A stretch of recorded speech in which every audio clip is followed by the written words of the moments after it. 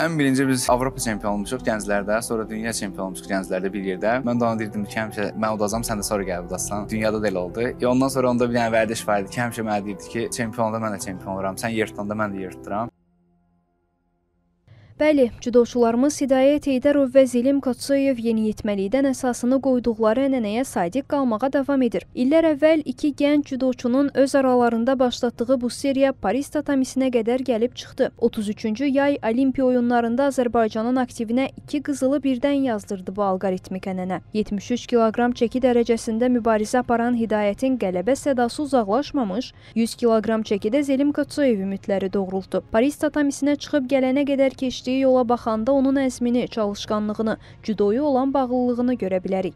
Onun Azərbaycana olan sevgisi bizim ona ürək dolusu idmançımız, təmsilçimiz kimi ifadələr işlətməyimizə imkan verir. Ən azı Azərbaycan himnini fəxri kürsüdə dinləyə və dinlədərkən sinəsinə sıxdığı əli yetərli səbəbdir. Zilim 1998-ci il avqustun 9-da Şimali Osetiyada doğulub. Judo ilə məşğul olmağa 9 yaşından başlayıb. Beynəlxalq turnirlərdə birinci uğruna 2013-cü ilin iyununda Estoniyanın Tallin şəhərində baş tutan U18 Avropa çempionatında bürünc medala yiyələnməklə imza atıb. Bir il sonra Afinadakı inadlı yarışda birinci yeri tutub. 2015-ci ildə milliyə cəlb edilən Zelin Bolqarıstanda baş tutan U18 Avropa çempionatında turnirin qızıl medalına sahib olub. Həmin ilin avqustunda Bosniya və Hersegovinadakı dünya çempionatında gümüş medala yiyələnib. 2016-cı il Ulan-Bator Grand Prix-sində, 2017-ci ildə Tayvanda baş tutan Universiada oyunlarında, ardınca Sloveniyada reallaşan gənclər arasında Avropa çempionatında və Xorvatiyada baş tutan gənclər arasında dünya çempionatında qızıl medallar qazanıb.